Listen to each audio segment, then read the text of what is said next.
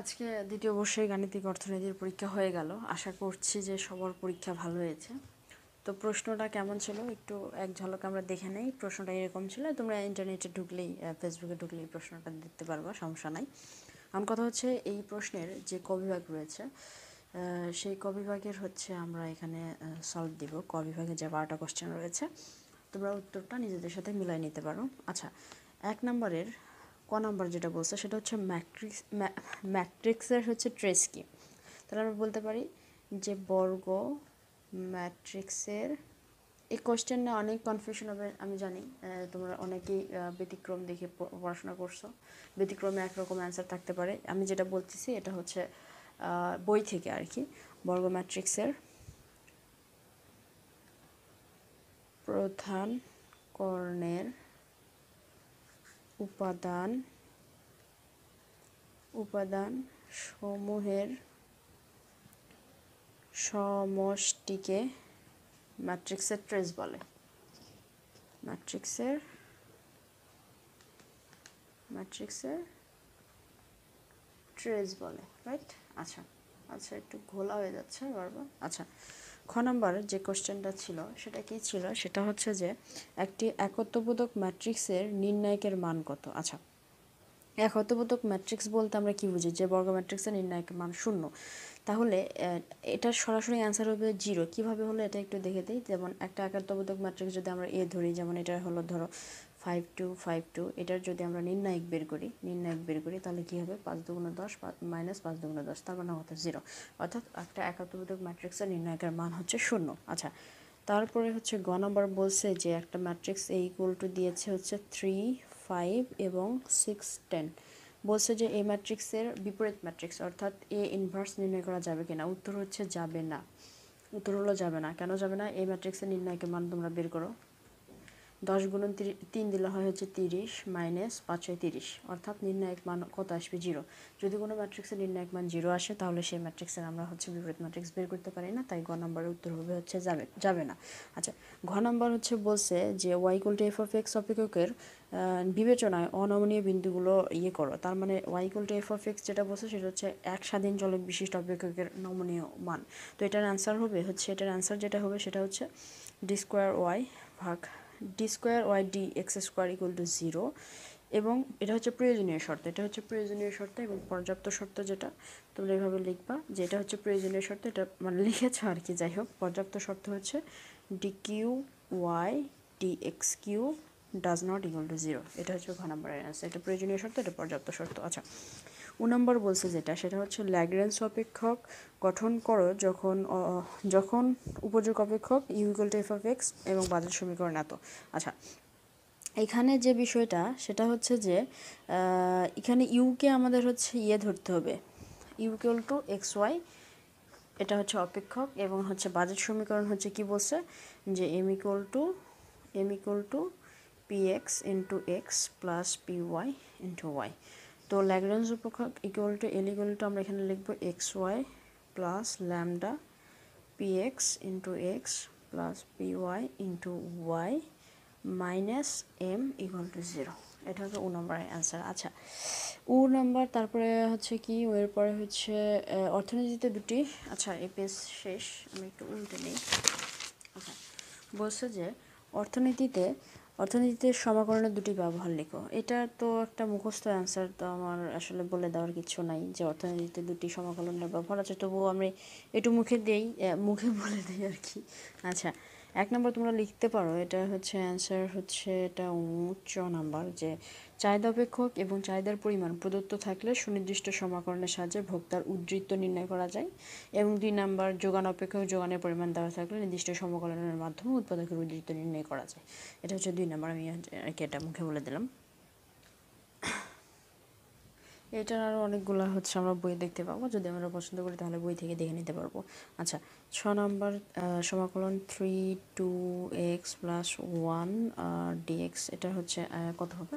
তাহলে এটার একটা সূত্র আছে আমরা জানি যে সূত্রটা কি? সমাকলন one divided x plus b dx equal to এখানে কি লেখা যায়? ওয়ান ভাগ a ln a x plus b plus c এটা হচ্ছে সূত্র। তাহলে এই অঙ্কটাকে সূত্রতে নিয়ে আসতে হবে। তাহলে কীরকম যেমন থ্রিকে সামনে নিলাম, সমাকলন নিলাম থ্রি যদি সামনে আসে তাহলে one by two x plus two গুণ করে দিলাম দেন হচ্ছে আমরা ডিএক্স লিখলাম। এখন এখন আমরা কি করব? এটা সমাকলন করব। ওয়ান বাই এ তাহলে থ্রি থাকল ওয়ান বাই এ মানে কি? মানে হচ্ছে এই যে টু এক্স এখানে হচ্ছে ওয়ান বাই টু আচ্ছা এটা বোঝানোর কিছু না আমি তো সলভ দিচ্ছি, সুতরাং সলভ দিয়ে দিই।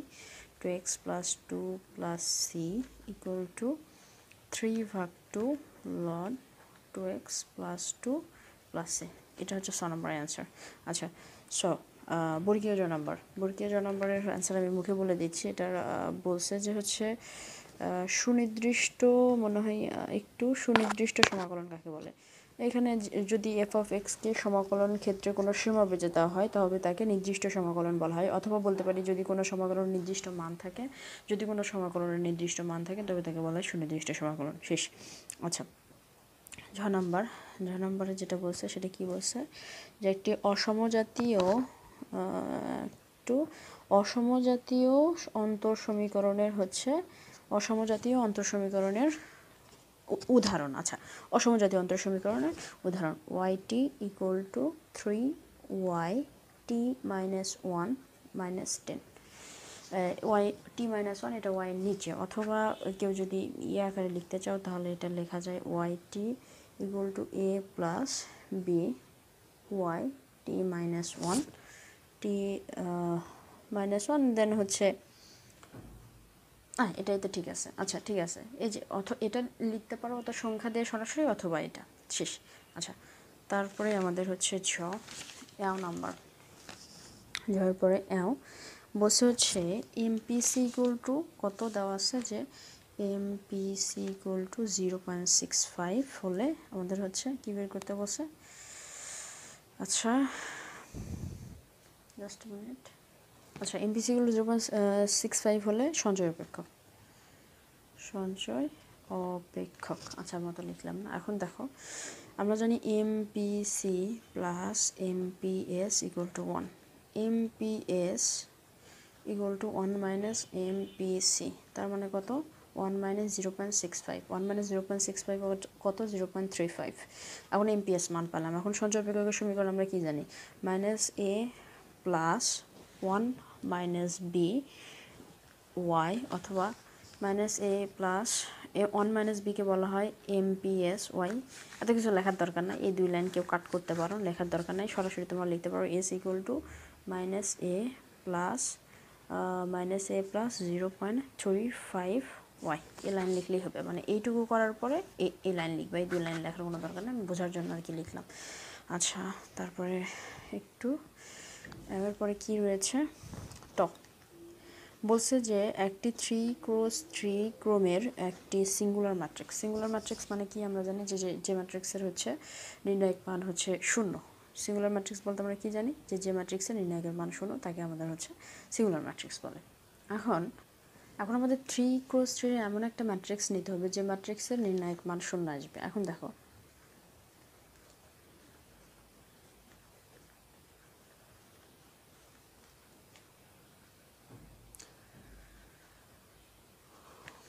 আমরা যদি একটা এখানে নির্ণায়ক করি, দেখো। ছয় দুগুণ কত? বারো মাইনাস পনেরো প্লাস মাইনাস জিরো যদি করি সিক্স মাইনাস বারো প্লাস জিরো ফাইভ ফাইভ আচ্ছা ফাইভ মাইনাস এইট এখন দেখো, সবগুলো জিরো আসবে।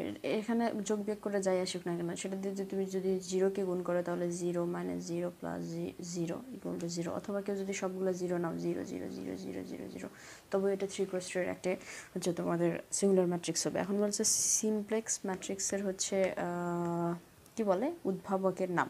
এটার নাম হচ্ছে, এটা একদম লাস্ট কোয়েশ্চেন ঠ নাম্বার এটার নাম হচ্ছে G B D N T Z I G আচ্ছা আমরা নিশ্চয়ই সবগুলো সলভ করতে পেরেছি। আচ্ছা ঠিক আছে, তাহলে এই সমাধান।